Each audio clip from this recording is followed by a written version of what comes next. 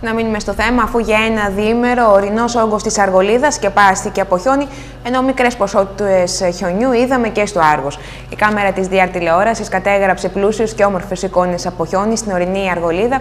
Δείτε στο βίντεο που ακολουθεί.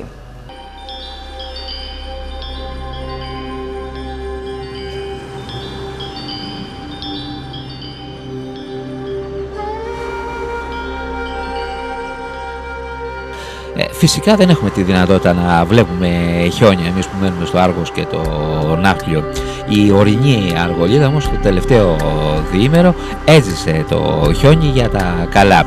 Τα χωριά ε, του ε, τα ορεινά χωριά της ε, περιοχής μας ε, σε όλο το τόσο προς την πλευρά της Καριάς, του Γυμνού, της Αλέας, της Σκοτεινής όσο και στις Λίμνες και στον Αραχναίο, στον Αχλαδόκαπο έπεσε πάρα πολύ χιόνι.